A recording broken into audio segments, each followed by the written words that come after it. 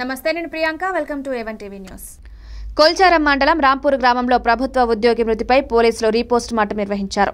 August ఇరవై ఆరవ తేదీన సుభాష్ అనే యాభై సంవత్సరాల ప్రభుత్వ ఉద్యోగి అనారోగ్యంతో మృతి చెందారు. అయితే భర్త మృతిపై భార్య శోభ అనుమానాలు వ్యక్తం చేస్తూ పోలీసులకు ఫిర్యాదు చేయగా గురువారం సీఏ రాజశేఖర్ రెడ్డి ఆధ్వర్యంలో ఖననం నిర్వహించిన మృతదేహాన్ని వెలికితీసి రీపోర్ట్ మాస్టం నిర్వహించారు. స్థానిక తహసీల్దార్ గబ్బర్ మియా ఆధ్వర్యంలో రిపోస్ట్ మార్టం నిర్వహించారు. మెదక్ ఏరియా ఆసుపత్రి నుంచి వచ్చిన వైద్యులు ఫోరెన్సిక్ వైద్య బృందం ఇన్వెస్టిగేషన్ నిర్వహించారు. పూర్తి స్థాయి నివేదిక అధికారులకు సమర్పిస్తామని తెలిపారు. ఆరెంజ్ డబ్బలే. బాక్సులు తీసుకున్నా అన్ని తీసుకున్నా.